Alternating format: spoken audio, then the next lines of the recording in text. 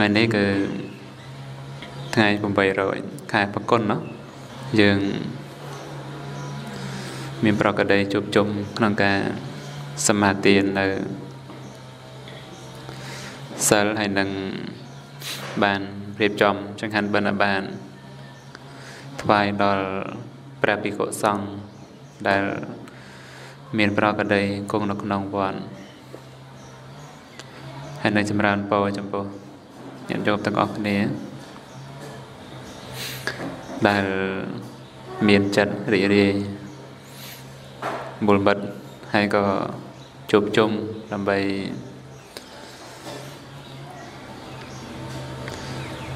រតនីក្នុងការសំដែងនៅពធហើយសម្រាប់ ពេលវេលាក៏យើង ប្រព្រឹត្តទៅតាមសមគួរព្រោះឱកាសដែលយើងអាចស្ដាប់ធម៌បានហ្នឹងគឺមានមិនសម្បូរ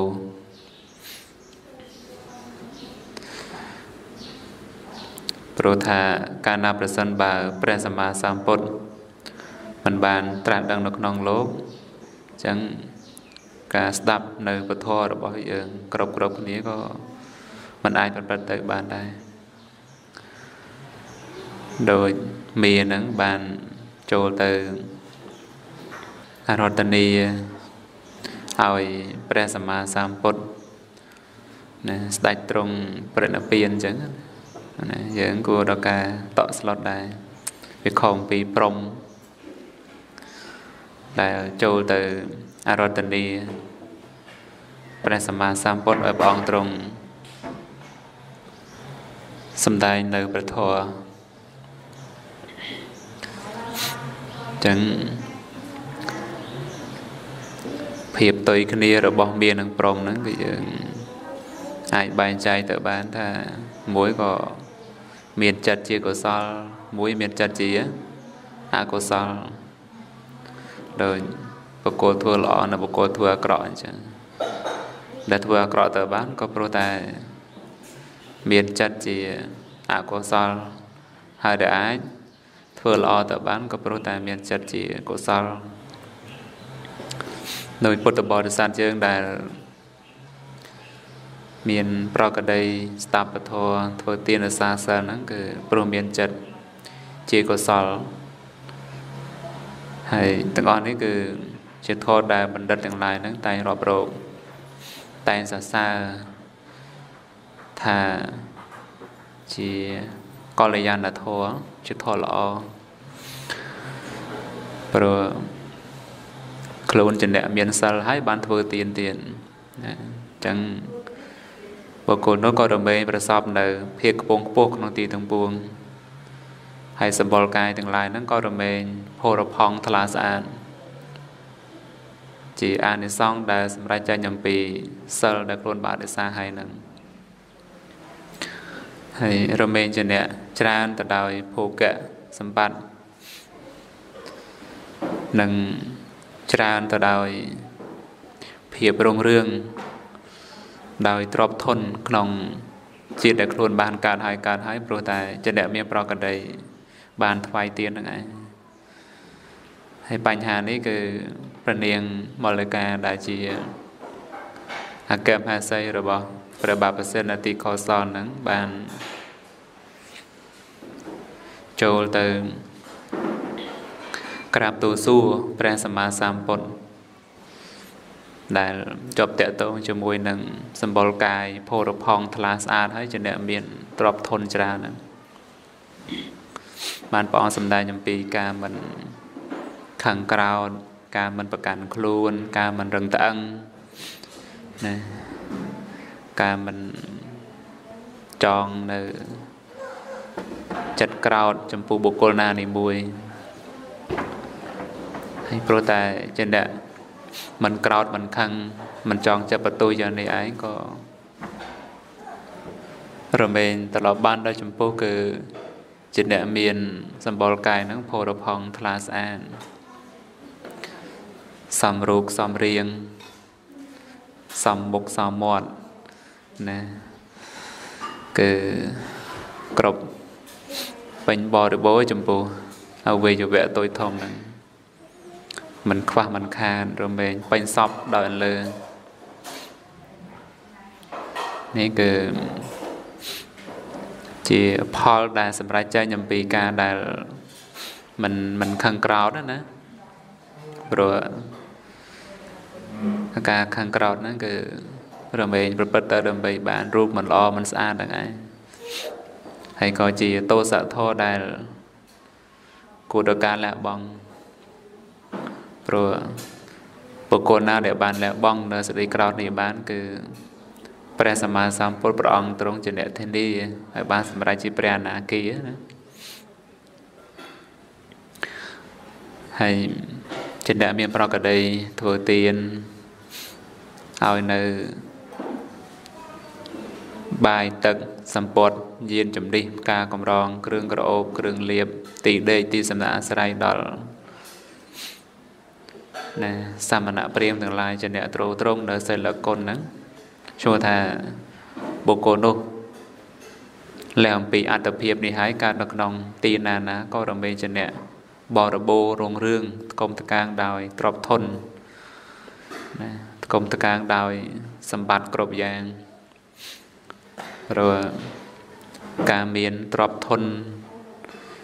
បរិបូរទៅបាន គឺសម្រាប់ចេញអំពីការឲ្យទាននឹងឯងហើយបើសិនថាមិនដែលឲ្យទានទេនឹងក៏រមែងខ្វះខាតដោយទ្រព្យសម្បត្តិហ្នឹងព្រោះ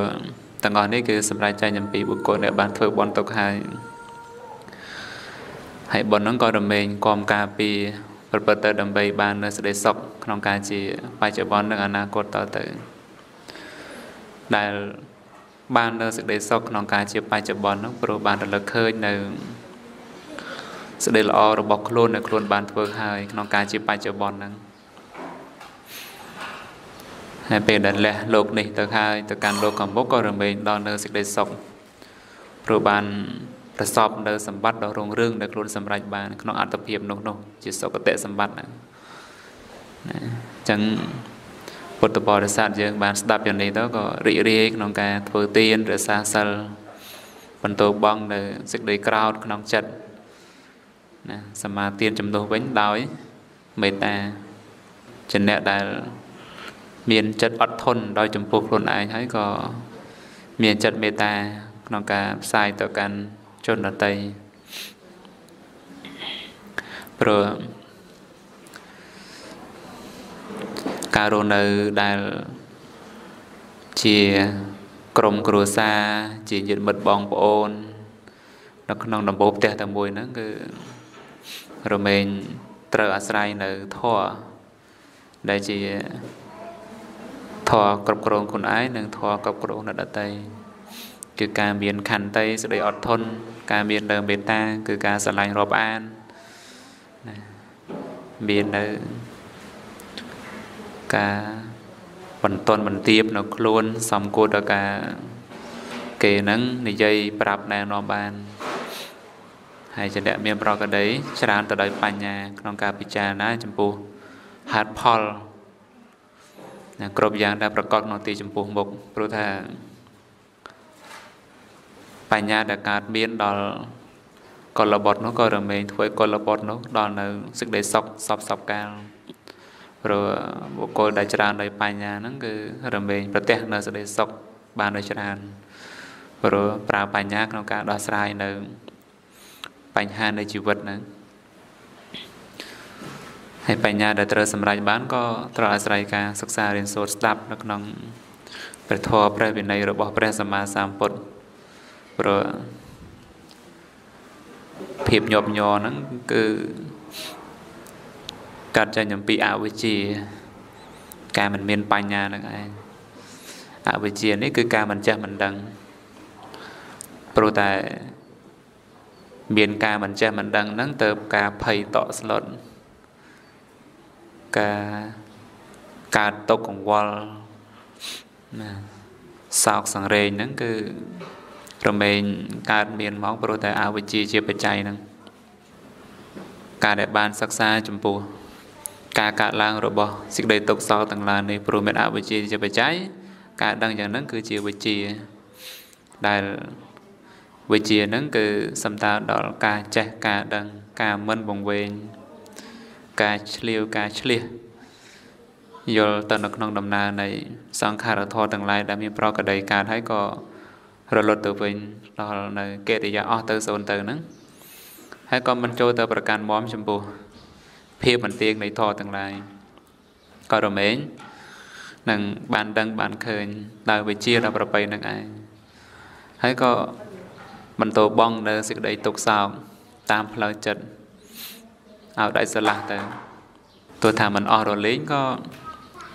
រមែងអស់ដោយចំណែកខ្លះក្នុងការដែលបញ្ញានឹងកើតឡើង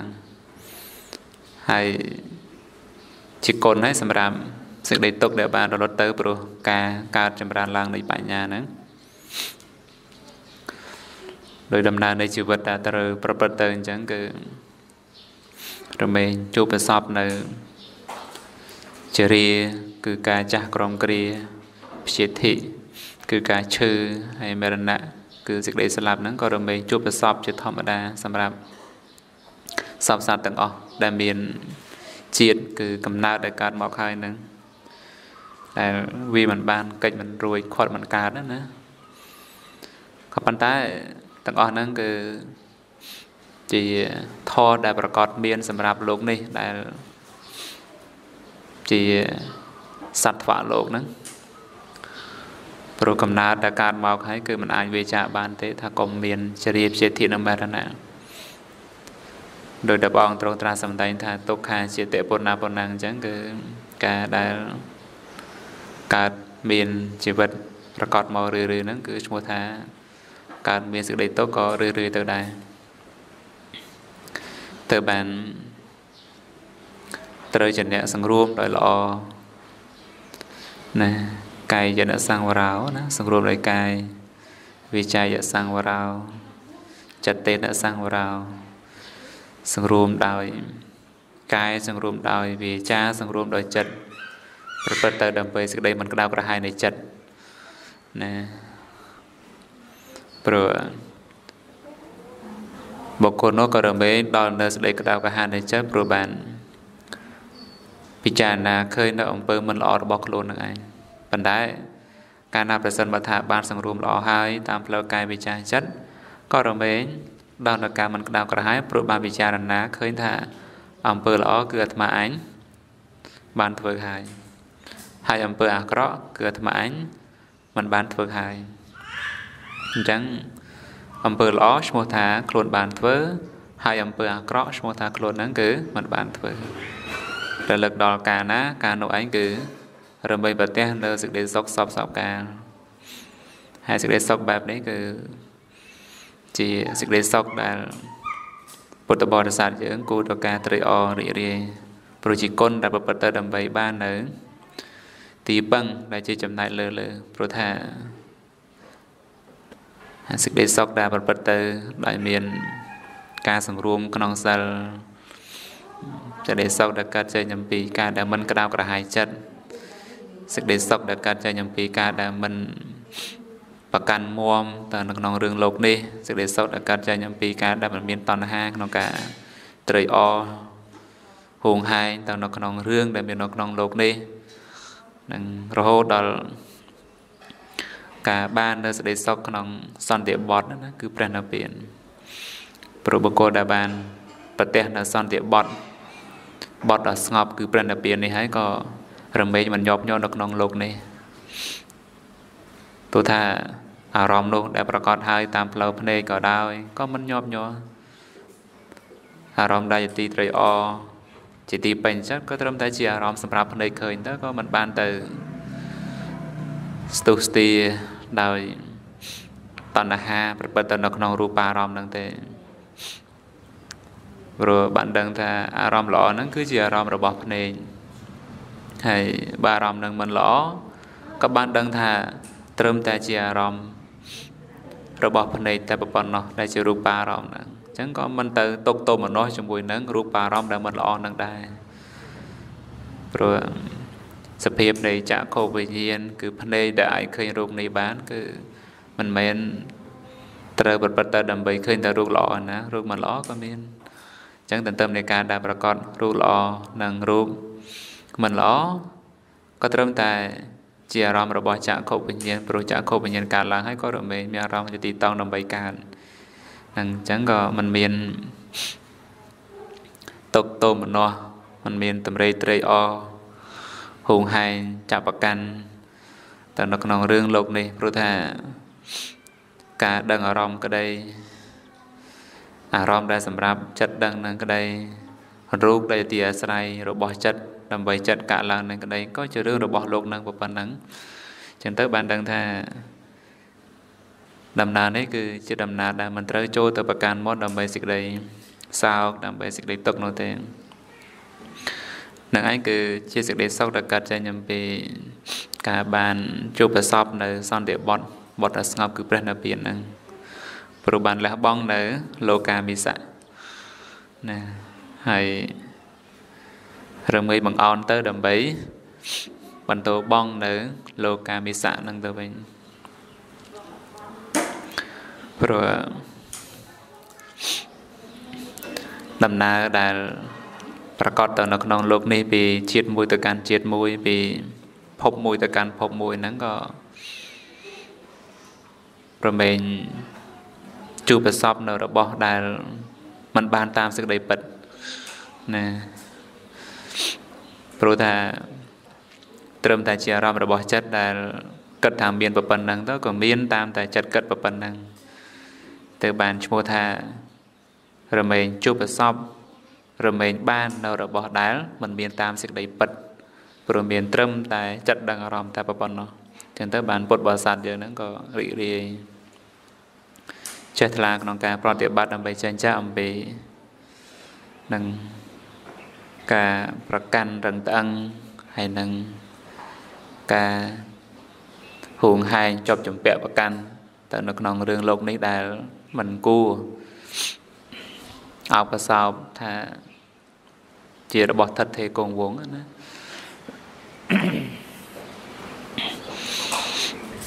ហើយក៏រមែងតាំងនៅក្នុង ការពិចារណាអស់យប់មួយថ្ងៃដើម្បីបន្តបងនៅសេចក្តីប្រកាន់និង ការហួងហែងទាំងអស់ហ្នឹងដោយឧបាសិកាលកុមារអញ្ចឹងគាត់មិនជាអ្នកមានសទ្ធាអីច្រើនទេក៏ប៉ុន្តែពេលដែលបានឃើញព្រះភិក្ខុសង្ឃនិមន្តបណ្ឌបាតមុខផ្ទះគាត់រឿយរឿយអញ្ចឹងទៅគាត់ក៏ឃើញនៅការសង្រួមណា ឃើញនៅការសង្រួមដ៏ល្អរបស់ព្រះភិក្ខុសង្ឃហ្នឹងគាត់ចេះថ្លាចេះថ្លាទៅក៏យកបាយមកវែងហ្នឹងមកដាក់ក្នុងបាតរបស់លោកម្ចាស់ហ្នឹងថ្ងៃទី1គាត់ប្រកេតបាយតែមកវែងទេព្រោះសទ្ធាគាត់មានតែប៉ុណ្្នឹងណាមិនសូវជាខ្លាំងខ្លាណាទៅទៅចាប់ផ្ដើមដោយបានឃើញនៅ សេចក្តីសង្រួមរបស់លោកម្ចាស់និមន្តទៅបិណ្ឌបាតទៅគាត់ចេះថ្លាថ្ងៃក្រោយមកគាត់នឹងប្រកេនបាយនឹងច្រើនរហូតគាត់មានប្រកដីដាក់បាតចឹងរឿយរឿយចឹងទៅគាត់នឹងកាន់តែមានសទ្ធាចេះថ្លាឡើងដែលជាប្រាសាទសទ្ធាណាណាហើយប្រាសាទសទ្ធានេះគឺនិយាយអំពីសេចក្តីចេះថ្លាដែលប្រកបដោយបញ្ញា ព្រោះបានយល់បានដឹងថាកម្មដែលអាត្មាអញធ្វើហើយនេះគឺមិនសាបសូន្យនោះទេហើយផលដែលត្រូវសម្រេចបានហ្នឹងគឺរមែងមានយ៉ាងពិតប្រាកដហើយទន្ទឹមនៅនោះអាត្មាអញធ្វើនៅកម្មណាក៏រមែងបាននៅកម្មនោះហើយនឹងត្រូវប្រព្រឹត្តតាមកម្មនោះព្រោះមានកម្មនោះជាបច្ច័យពោលគឺនឹងមានកម្មដោយចំពោះខ្លួនហើយក៏រមែង តាច់រង្គត់ទៅដោយកម្មនឹងជាអ្នកបែងចែកចឹងទៅបានដឹងថាទីពឹងសម្រាប់ខ្លួនឯងដតេអំពីការធ្វើទានរសាសិលអប់រំចម្រើនបញ្ញានេះហើយគឺរកមិនបានទេព្រោះថាសម្បត្តិនៅក្នុងលោកនេះ ដែលបានដឹងតាមផ្លូវភ្នែកផ្លូវតិចផ្លូវច្រមុះផ្លូវអណ្ដាតផ្លូវកាយផ្លូវចិត្តហ្នឹងក៏ជារបស់ដែល បានត្រឹមតែការប្រស្រ័យប្រើប្រាស់ក្នុងអត្តភាពជាបច្ចុប្បន្នតែប៉ុណ្ណោះមួយរយៈកាលតែប៉ុណ្្នឹងទេហើយទន្ទឹមនៃសេចក្តីស្លាប់ឈានចូលមកដល់ហើយគឺរបស់ទាំងអស់ហ្នឹងក៏លះចោលចឹងទៅទុកសម្រាប់លោកនេះវិញចឹងទៅនឹងហើយអ្វីអ្វីដែលប្រកបនៅក្នុងលោកនេះយើងសុទ្ធធ្លាប់បានហើយមិនមែនមិនធ្លាប់បានទេណាភាពជាបរិជាភាពជាស្ដេចចក្រពត្តិភាពជាសទ្ធិកហបតី គឺសុទ្ធតែជារបស់ដែលយើងធ្លាប់បានធ្លាប់ប្រើប្រាស់ណាសបោហូហៀមកពេលខ្លះទៅក៏តកោខ្សាត់ទៅ ពេលខ្លះទៅក៏តកោរិះអញ្ចឹងទៅពេលខ្លះទៅក៏តកូលកហបដីអញ្ចឹងទៅពេលខ្លះក៏តកូលគ្រួសារលំបាកក្រីក្រអញ្ចឹងទៅទាំងអស់ហ្នឹងគឺយើងសើធ្លាប់បានមកហើយហើយទាំងអស់ហ្នឹងគឺកម្មជាអ្នកបែងចែកឲ្យប្រព្រឹត្តទៅយ៉ាងនេះទៅបានដឹងថា ជារបស់ដែលមិនមែនជាសារៈគួរដល់ការគិតថាជារឿងចាំបាច់ណាតែអ្វីដែលសំខាន់គឺសិលសមាធិបញ្ញានឹងឯងជារឿងចាំបាច់ដែលយើងត្រូវប្រព្រឹត្តដើម្បីខ្លួនឯងព្រោះដំណើរនៃវដ្តសង្សារនេះគឺតាមម្នាក់ឯងអញ្ចឹងបើសិនតាមម្នាក់ឯងទេអាហ្នឹងយើងត្រូវធ្វើឲ្យខ្លួនឯងព្រោះបើមិនធ្វើខ្លួនឯងក៏យើងមិនអាចឲ្យនរណាហ្នឹងមកធ្វើយើងបានដែរ នឹងអ្នកណាធ្វើនៅហ្នឹងគឺជាអ្នកទទួលនឹងឯងមិនអញ្ចឹងដោយព្រះអង្គទ្រង់ត្រាស់សម្ដែងអញ្ចឹងបុគ្គលដែលធ្វើកម្មល្អក៏រមែងប្រសពនៅផលដ៏ល្អបុគ្គលដែលធ្វើកម្មអាក្រក់ក៏រមែងប្រសពនៅណាផលអាក្រក់អញ្ចឹងទៅទាំងទីខ្លះក៏ព្រះអង្គសម្ដែងអំពីការធ្វើបាបក៏រមែងទៅកាន់អបាយភូមិការធ្វើបុណ្យក៏រមែងទៅកាន់សុគតិសួគ៌ទេវលោកហ្នឹងក៏មានដែរអញ្ចឹងបានយើងដឹងអញ្ចឹងទៅក៏រីករាយក្នុងការធ្វើកុសលធម៌ឲ្យបានច្រើនច្រើនព្រោះឱកាសសម្រាប់យើងដែលយើងអាចធ្វើកុសលធម៌បាននេះគឺមានប្រមាណតិចតួច10 20ឆ្នាំដែលសល់សម្រាប់យើងហ្នឹងកុំគិតតែច្រើនមិនច្រើនទេណាដោយសម័យព្រះសម្មាសម្ពុទ្ធក្នុងការមុនមុនហ្នឹងមិនមែនត្រឹម100ឆ្នាំអញ្ចឹងទេអាយុមនុស្សចូលម៉ឺនម៉ឺនឆ្នាំ ក៏ប៉ុន្តែបើប៉ុណ្ណោះហើយក៏ដោយសម្រាប់អ្នកដែលមិនចេះឆ្អែតក្នុងការធ្វើបុណ្យហ្នឹងគឺនៅតែគិតថាពេលវេលាហ្នឹងខ្លីមិនចឹងហើយនឹងសម្រាប់បុគ្គលដែលមិនទាន់បានត្រាស់ដឹងនៅព្រះនិព្វានហ្នឹងគឺនៅតែគិតថាណាខ្លីនឹងឯងក៏ប៉ុន្តែគាត់ថាការសន្សំនៅចរិតអធិស្រ័យក្នុងការមានសទ្ធាធ្វើទានរក្សាសិលស្ដាប់ពធរៀនពធនិងអប់រំចម្រើនបញ្ញានឹងឯង ក្នុងការជាបច្ចុប្បន្ននេះមិនទាន់មានកម្លាំងឧបត្ថម្ភក្នុងការធ្វើឲ្យបាននៅមគ្គផលណាក៏ពិតក៏ប៉ុន្តែទាំងអស់ហ្នឹងគឺជាគុណសម្រាប់អនាគតតទៅក្នុងន័យថាបច្ចុប្បន្នព្យាយាមដែរប៉ុន្តែមិនទាន់សម្រេចអញ្ចឹងអនាគតក្នុងការខាងមុខគឺរំពេសម្រេចបានដោយពិតនឹងការថាប្រសិនបើថាស្ថិតទៅនៅក្នុងនឹងបុគ្គលដែល ប្រព្រឹត្តមើងម៉ាត់មោះមុតតស៊ូហើយមិនដាក់ទុរៈចោះណាណាថ្ងៃណាក៏ថ្ងៃហ្នឹងទៅព្រោះមិនមែនជារឿងត្រូវគិតក្រវល់ក្រវាយណាដូចយើងរាល់ថ្ងៃអញ្ចឹងបើគិតទៅរឿងស្លាប់ទេមិនដែររាល់ថ្ងៃណាមិនសក់ទេចិត្តហ្នឹងអញ្ចឹងក៏ដាក់ទុរៈទៅរឿងស្លាប់មកទៅស្លាប់ហើយមិនអញ្ចឹងថ្ងៃណាក៏ថ្ងៃហ្នឹងទៅនឹងមិនមែនត្រូវទៅគិតដើម្បីសេចក្តីទុកសពសពការនោះទេ មិនអញ្ចឹងព្រោះធម្មតាបទុជនដែលមិនតាន់បានលះបង់នៅតណ្ហាមេននតតិគឺសេចក្តីស្រឡាញ់ការហួងហែងចាប់ចម្ពាក់ឬមេមានធម្មតាអញ្ចឹងហាមិនកើតបទុជនមិនអញ្ចឹងថាគុំស្រឡាញ់រូបហាមិនបានទេ ពេលខ្លះពោលថាមិនសូវជាគិតដែរហ្នឹងណាពោលថាមិនគិតនឹងមាត់ពោលក៏ប៉ុន្តែចិត្តគិតថាម៉េចហួងហែងអញ្ចឹងទៅអញ្ចឹងបាន មិនមែនជឿត្រឹមពាក្យសម្ដីទេតែយើងជឿត្រឹមការប្រព្រឹត្តណាហ្នឹងបើដោយពាក្យសម្ដីហ្នឹងក៏ចិត្តតែទៅបានហើយរលូនអញ្ចឹងទៅប៉ុន្តែគាត់ថាសភាពនៃចិត្តដែលកើតមកហ្នឹងគឺវាមិនអញ្ចឹងណាព្រោះមេយារបស់ចិត្តហ្នឹងគឺមានច្រើនហើយមិនមែនត្រឹមតែជាចិត្តដែលមានមេជាច្រើនទេ ជាចិត្តដែលលះលោះហ្នឹងទៅទៀតទៅបាន ត្រង់កន្លែងហ្នឹងយើងក៏មិនមិនគិតដើម្បីសេចក្តីទុកសពសពការនោះទេបើយើងគិតរឿងល្អអាហ្នឹងក៏សក់ទៅបើយើងគិតមិនមិនល្អអាហ្នឹងក៏ទុកទៅធ្វើម៉េចនៅរឿងស្លាប់ចឹងបច្ចុប្បន្នខ្លួនមិនទាន់ស្លាប់ទេដល់ពេលកើតរឿងស្លាប់កាត់ទៅក៏ដោយបើគុំគិតទៅមានបញ្ហាអីមិនចឹងហើយក៏រស់នៅតាមធម្មតាអញ្ចឹងទៅធ្វើទានដោយសារសិលអប់រំចម្រើនបញ្ញាអញ្ចឹងទៅក៏ជាអ្នកឆ្លៀសក្នុងការដែលមិនគិតដើម្បីខ្លួនឯងនឹងនៅជាទុកព្រោះយើងបានដឹងហើយថាលោកហ្នឹងគឺតែយ៉ាងនឹងឯងมันមានតែយើងឯណាដែលត្រូវស្លាប់មិនអញ្ចឹងអ្នកដតីក៏ស្លាប់ដែរក៏ប៉ុន្តែគាត់ថារឿងនេះគឺជារឿងម្ដងម្នាក់តែជារឿងរៀងរៀងខ្លួនអ្នកទៅហើយក៏ទៅអ្នកដែលមិនតន់ទៅក៏ត្រៀមនឹងទៅប៉ុន្តែមិនមែនត្រូវគិតថាខ្ញុំនឹងស្លាប់ នឹងឬក៏ខ្ញុំនឹងត្រូវស្លាប់ពេលនេះពេលនោះមិនបាច់គិតទេពេលណាពេលហ្នឹងទៅនឹងប៉ុន្តែបើសិនថាមាននៅសេចក្តីស្លាប់ហ្នឹងមកជាប្រកម្មដ្ឋានហ្នឹងជារឿងល្អទៅវិញដែលភាពដាច់សូន្យនៃជីវិតតន្ត្រីហ្នឹងហើយការមាននៅសេចក្តីស្លាប់ប្រកបមកជាប្រកម្មដ្ឋានក្នុងការបរិកម្មភាវនារលឹករឿយៗហ្នឹងក៏ដើម្បីបន្តបងនៅតម្រេកបន្តបងនៅសេចក្តីតក់ស្លុតបន្តបងនៅការឈឺចាប់នៅក្នុងចិត្តហ្នឹងឯងហើយ ដូចយើងមានជំងឺឈឺអញ្ចឹងណាយើងគិតថាវាតិចតួចទេត្រឹមប្រាសាយអីហ្នឹងប៉ុន្តែវាចេះតែតឹងច្រមុះវាចេះតែតឹងកណាគិតតាមធ្ងន់ធ្ងរទេណាហើយអញ្ចឹងទៅក៏ទៅពេទ្យឲ្យពេទ្យបណ្ឌិតទៅពេទ្យហ្នឹងក៏បណ្ឌិតមើលទៅជួសឈាមទៅអីទៅក៏គាត់ថាមហារាជកកមហារាជចំោះអញ្ចឹងគឺធម្មតា ដល់ពេលទៅពេទ្យមិនធម្មតានឹងហើយបើជំងឺមិនធម្មតាហើយចិត្តនឹងធម្មតាអត់អត់ធម្មតាទេចិត្តហ្នឹងហ្នឹងហើយបើចេះគិតចេះពិចារណាពេលហ្នឹងអាចធម្មតា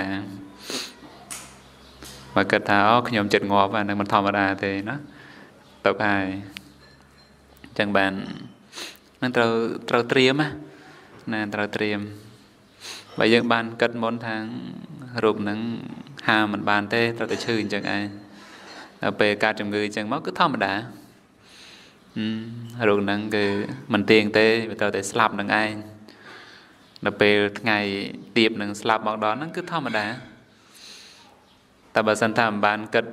មិនបានរលឹកមិនបានពិចារណាមុនទេអាហ្នឹងគឺប្រកាសជាមិនធម្មតាហើយចិត្តហ្នឹងគឺរមែង ត្រូវសេចក្តីទុកនឹងក្រសង្កត់ហើយហើយបើទុកកើតហើយពិបាកណាស់ក្នុងការរើខ្លួនចេញអំពីសេចក្តីទុកនឹងអញ្ចឹងបានថាកុំឲ្យចអ្នកបង្វេងនៅក្នុងព្រៃទាំងដែលមិនស្គាល់ផ្លូវណាបើដឹងថាខ្លួនឯងមិនស្គាល់ផ្លូវកុំទៅមិនអញ្ចឹងណាណាបើតាឆ្លៀសស្គាល់ហើយទៅទៅហ្នឹងព្រោះថាព្រៃហ្នឹងគឺរមែងប្រកបដោយភ័យច្រើនបែបច្រើនប្រការហើយទៅលងខ្លួនចូលហើយមិនងាយចេញមកវិញទេ ណាអញ្ចឹងកុំឲ្យឱកាសនៃសេចក្តីទុកហ្នឹងគ្រប់សង្កត់ចិត្តបានត្រូវជាអ្នកឆ្លៀសក្នុងការរើខ្លួនចេញអំពីសេចក្តីទុកដោយការពិចារណាដោយភាពមិនទៀងនៃលោកនេះនឹងហើយបានពិចារណាឃើញថាលោកនេះគឺមិនទៀងអញ្ចឹងហើយសេចក្តីត្រេកអរក៏រមែងមិនមានដែរណាសัพពលោកេអនភិរតិសញ្ញាណាមានប្រកដីសម្គាល់ថាមិនគួរដល់ការត្រេកអរនៅក្នុងលោកនេះនឹងអញ្ចឹងទៅក៏ ចិត្តនេះក៏រមែងស្រាក់ស្រានអំពីសេចក្តីហួងហែងស្រាក់ស្រានអំពីសេចក្តីប្រកាន់អញ្ចឹងសេចក្តីទុកសោកក៏រមែងមិនប៉ះពាល់រមែងមិនកើតឡើងព្រោះបានបន្តបងនៅសេចក្តីហួងហែងនឹងការប្រកាន់នឹងឯងចឹងទៅគឺរស់នៅជាមួយនឹងការពិតនៃជីវិតរស់នៅជាមួយនឹងការពិតនៃលោកនេះព្រោះការឈឺហ្នឹងគឺជាការពិតដែរការចាស់ហ្នឹងគឺជាការពិតដែរសេចក្តីស្លាប់ហ្នឹងគឺជាការពិតដែរ ពិតត្រង់ថាមានគ្រប់សត្វគ្រប់មនុស្សគ្រប់ណាពពួកទេវតាមានព្រមទាំងឡាយហើយជាការពិតដែលយើងមិនអាចប្រកែកបានហើយជាការពិតដែលយើងមិនអាចកិច្ចផុតនឹងអញ្ចឹងទៅក៏រស់នៅដោយសម្លឹងត្រង់សេចក្តីល្អតែម្យ៉ាងហើយក៏ធ្វើទីពឹងសម្រាប់ខ្លួនឯងដើម្បីបាននៅ សេចក្តីសុខក្នុងការជាអនាគតតតទៅព្រោះថាកំណើតនៅក្នុងអបាយភូមិហ្នឹងគឺឱកាសដែលយើងអាចធ្វើទានរក្សាសិលបាន ប្រព្រឹត្តប្រមចរិយធម៌បានហ្នឹងគឺមិនងាយទេណាមានតែកំណើតក្នុងសុគតិសួគ៌នេះឯងដែលអាចប្រព្រឹត្តទៅដើម្បីធ្វើឲ្យយើងហ្នឹងគឺមានឱកាសក្នុងការប្រព្រឹត្តប្រមចរិយធម៌ធ្វើទានរក្សាសិលបានណាអញ្ចឹងជាអ្នកដែលរីករាយក្នុងការ ធ្វើសេចក្តីល្អណាបានឧបាសិកាលក្ខុមាហ្នឹងគាត់អញ្ចឹងថ្ងៃដំបូងដែលឃើញថាលោកម្ចាស់ហ្នឹងសង្រួមល្អកើតចាត់ចេះថ្លាទៅក៏ប្រកេនបាយមកវេអញ្ចឹងទៅថ្ងៃទី2ថ្ងៃទី3ថ្ងៃទី4បន្តបន្តមកគាត់ក៏ប្រកេនថ្វាយច្រើនអញ្ចឹងទៅ រហូតចុងក្រោយគាត់មានសទ្ធាខ្លាំងក្លាហើយធ្វើរោងផាត់កសាងប្រកេនថ្វាយដល់ព្រះភិក្ខុសង្ឃហើយតែងតែមក បំរើព្រះភិក្ខុសង្ឃចឹងក្រាលកំរាលថ្វាយចង្ហាន់ណាហើយចន្លោះហ្នឹងគឺគាត់មានឱកាសស្ដាប់ពធក្នុងសំណាក់នៃព្រះភិក្ខុសង្ឃទាំងឡាយបានសម្រេចសោតាទៅណាដោយបានស្ដាប់ទៅនៅក្នុងការចម្រើននៅសតបដ្ឋានចម្រើននៅវិបស្សនាហ្នឹងគាត់ក៏ បានដាក់ចិត្តពិចារណាដោយភាពមិនទៀងចិត្តទុកហើយរបស់ណាដែលមិនទៀងចិត្តទុកមានការប្រែប្រួលទៅជាធម្មតារបស់នោះក៏មិនគួរនឹងយល់ឃើញថាជាយើងជារបស់យើងជាតួខ្លួនយើងហើយបានសម្រាប់ជាសោតាបណ្ណបុគ្គលទៅណាអានឹងផ្ដើមចេញអំពីបាយមកវែកណាណារហូតមកដល់ការកសាងរោងភ័ណ្ឌ រហូតមកមានការស្ដាប់នៅពធហ្នឹងជាគុណអញ្ចឹងដែរហើយស្លាប់ពីអត្តភាពហ្នឹងក៏បានតកើតនៅក្នុងទេវលោកទៅណាបរិបូរដោយសម្បត្តិគ្រប់យ៉ាងហើយបានរឿងហ្នឹងក៏ជារឿងដែលយើងគួរត្រូវការសិក្សាដើម្បីបានជាគំរូជាតថានុគតិក្នុងការប្រព្រឹត្តប្រតិបត្តិថា សទ្ធាដែលកើតមានក្នុងសន្តាននៃខ្លួនហើយគឺត្រូវតែបន្តឲ្យសទ្ធានោះគឺរឹងរឹតតែចម្រើនឡើងដោយពុទ្ធដែលយើងដាំនៅក្នុងផែនដីអញ្ចឹងកាលណាប្រសិនបើថាមានបន្លកចេញមកហើយយើងប្រកាសជាមានការថែទាំល្អហើយទូយ៉ាងដូចពូជស្រូវដែលយើងព្រោះនៅលើដីស្រែអញ្ចឹងពេលដែលចេញបន្លកចេញដើមមកហើយគឺយើងថែដោយទឹកថែដោយជី មានជីអាចគោអីចឹងទៅ ដើម្បីដើមហ្នឹងគឺកាន់តែរីកលូតលាស់មកល្អនឹងថែថែរហូតតលថាចាញ់ផ្លែយើងច្រូតកាត់ទៅសេចក្តីនឹងយ៉ាងណាគឺសទ្ធាដែលព្រះអង្គទ្រង់ប្រៀបធៀបដូចជាពូជនេះគឺបើកើតនៅក្នុងសន្តានចិត្តនៃខ្លួនហើយក៏បីថែនឹងឲ្យទៅជាសទ្ធាមានផ្លែមានផ្កាណាណាហើយផ្លែផ្ការបស់សទ្ធាហ្នឹងគឺអ្វីដឹងទេ ណាគឺមគ្គផលនិព្វាននឹងឯងហើយមគ្គផលនិព្វានដែលក៏លបត់នោះបានសម្រេចហើយអ្នកឯងគឺជាទីពឹងក្នុងសាសនាព្រោះបានអស់ទៅនៃសេចក្តីទុកគ្រប់យ៉ាងណាសូមអនុមោទនា